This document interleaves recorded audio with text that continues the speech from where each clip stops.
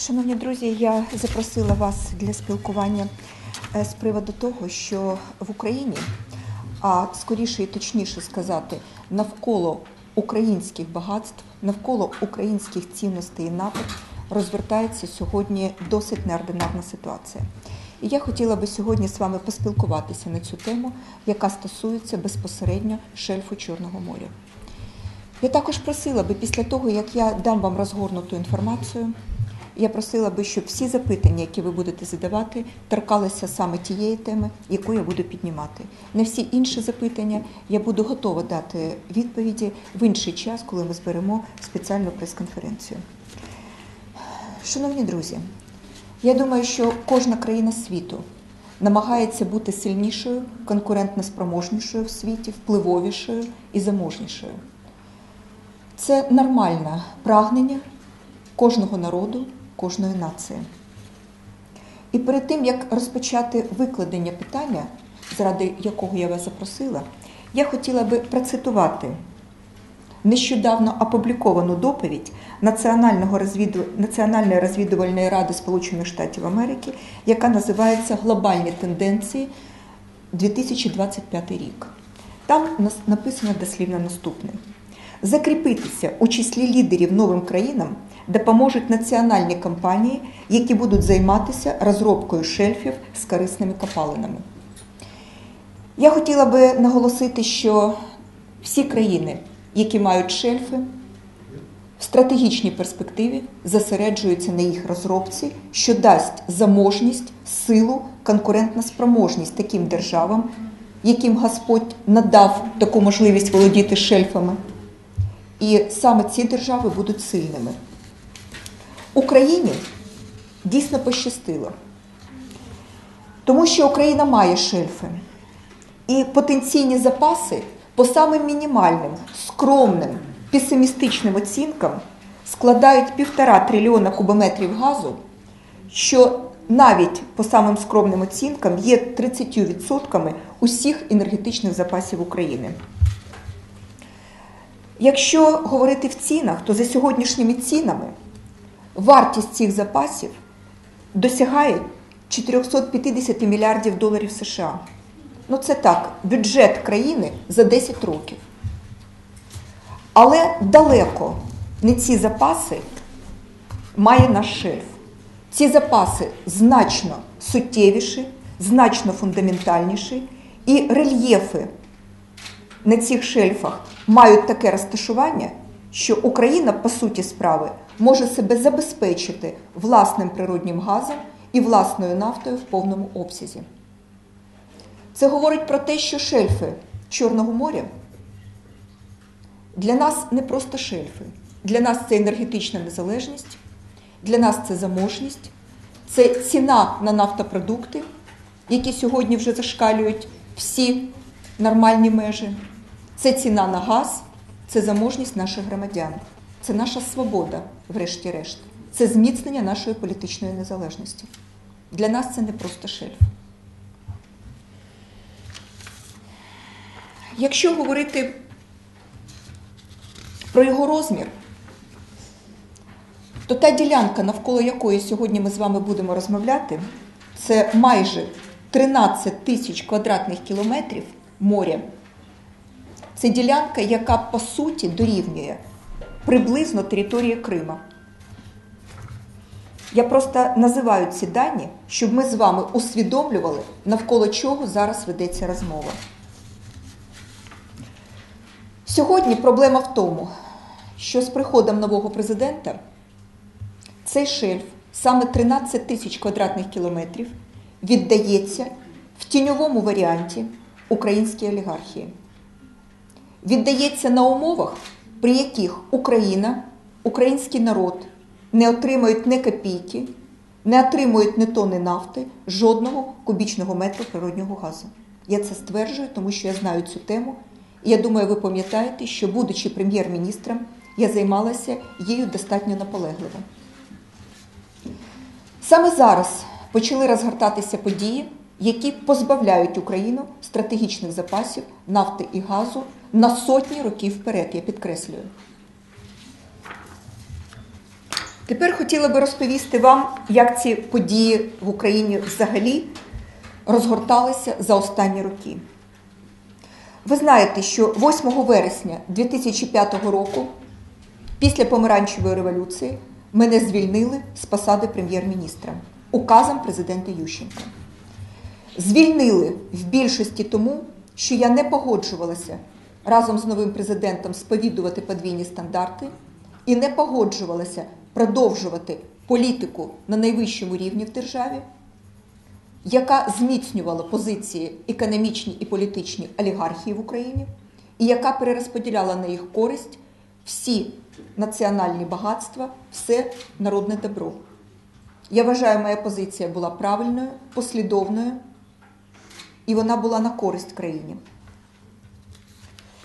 Неспроста звільняли, тому що якщо звільнили 8 вересня, то вже 22 грудня 2005 року, вже з новим президентом, з другим від помаранчевої революції прем'єр-міністром Єхануровим, прийняли постанову Кабінету міністрів про проведення конкурсу на залучення, конкурсу в лапках, безумовно, на залучення стратегічного інвестору, якому запланували передати шельф Чорного моря. Називається Прикерченська ділянка. Цю постанову лобіювали і фінансували в тіньовому режимі ті ж самі клани, які оточували Кучму, оточували Ющенка і сьогодні оточують Януковича, його головні спонсори. Верніше, спонсори кожного президента в нашій державі. 19 квітня 2006 року конкурс в лапках був проведений. І незважаючи на те, що в цьому конкурсі приймали участь глобальні компанії, які мають великий досвід по е, видобутку нафти і газу, і мають дійсно мільярдні статки, щоб розробляти такі радовища, а саме приймала участь компанія Shell, приймали участь інші компанії такого ж масштабу. Я, можливо, могла вам їх зараз всіх назвати.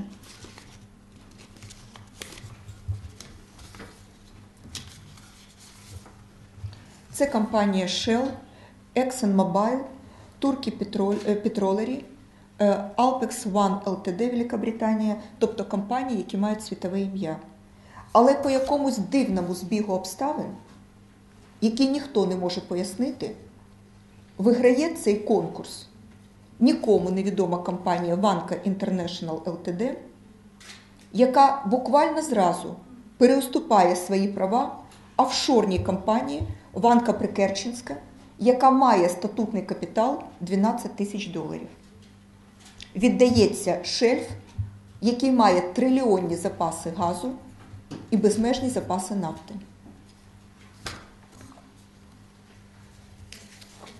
І компанія, яка має 12 тисяч доларів статутний капітал, говорить про те, що збирається інвестувати 15 мільярдів доларів в розробку українського шельфу.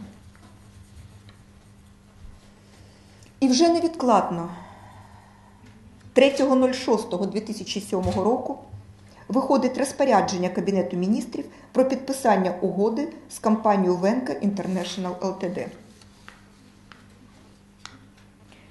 Можу сказати, що тоді, коли вже зовсім було зрозуміло, що уряд Януковича не втримається на своїх посадах, уряд Януковича, який призначений Віктором Ющенком. Саме тоді, буквально за лічені дні, до того, коли буде призначений новий уряд і новий прем'єр-міністр, видається спеціальний дозвіл на користування надрами компанії Венка Прикерченська.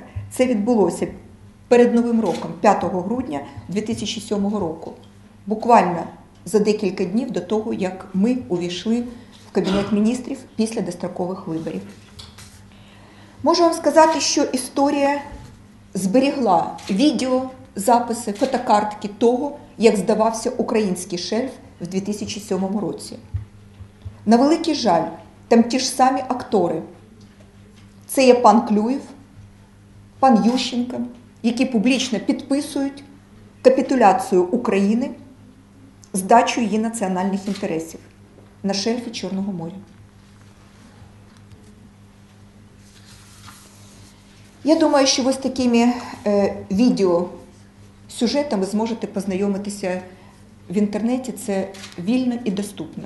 Я для себе просто декілька фотокарток вивела, щоб розуміти, як все це відбувалося.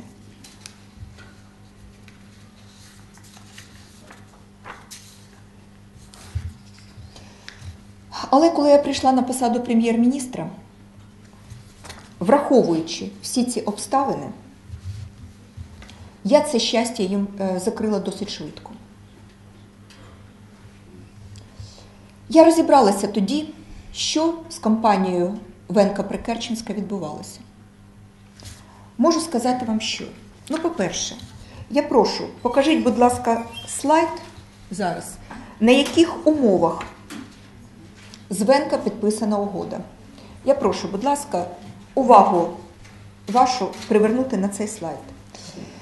Ви знаєте, що сьогодні дезінформують суспільство, говорячи про те, що розподіл продукції буде відбуватися 50 на 50.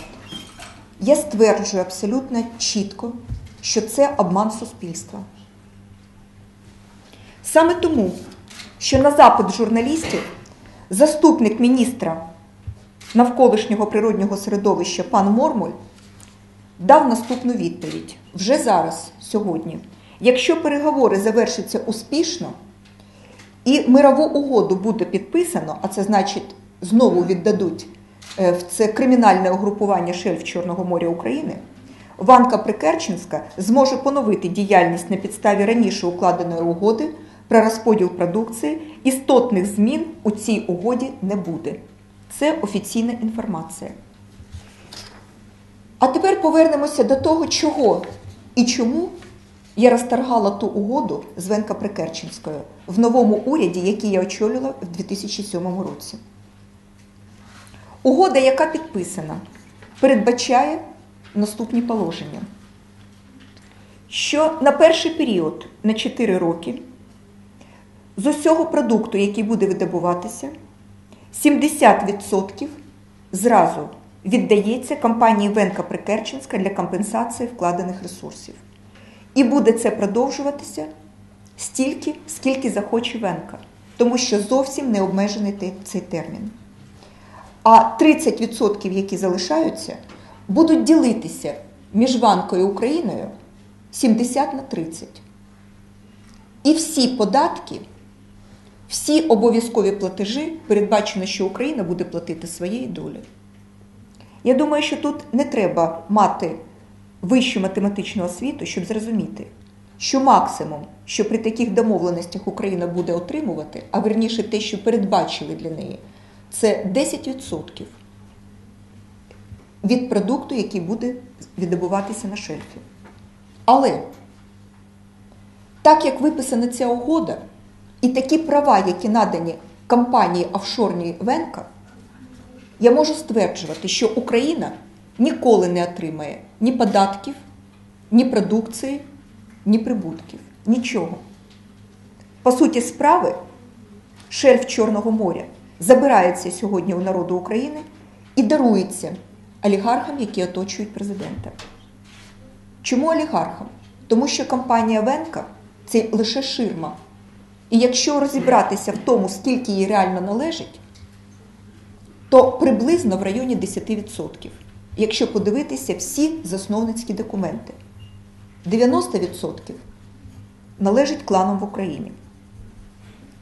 Вони не копійки за це не платять, вони зовсім не проводять ніякого тендеру, і умови, які передбачені в цій угоді, є відвертим, цинічним пограбунком України. Саме тому я розторгла всі ці угоди, скасувала всі урядові рішення. І я глибоко переконана, що такі запаси нафти і газу мусить видобувати Україна силами НАК Нафтогазу. Сьогодні НАК Нафтогаз видобуває більше 18 мільярдів кубічних метрів газу. Робить це успішно і дає можливість отримувати газ для громадян України по адекватним цінам. які співставні з пенсіями і заробітними платами людей.